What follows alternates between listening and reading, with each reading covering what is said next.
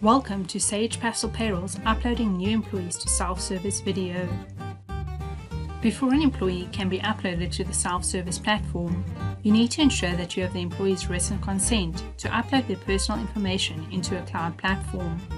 For your convenience, there are consent forms available in Pastel Payroll under Setup Self-Service Consent Forms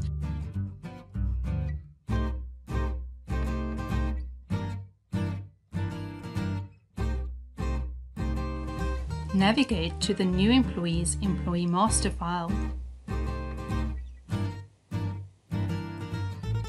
In the Personal tab, select the Preferences tab.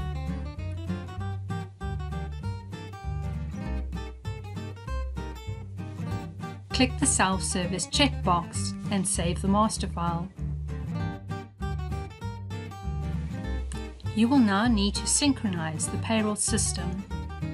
To synchronize, click on Process, Self-Service, and select Synchronize. Click on OK. The synchronization process is not an instant process. You can attempt to stop and start the Sage Connected services to speed up the process, but synchronization usually takes about an hour to complete. Reach out to us on our other self-help platforms. Other self-service videos like how to send the employee self-service username and password can be found in the description box below. Thank you for watching our video.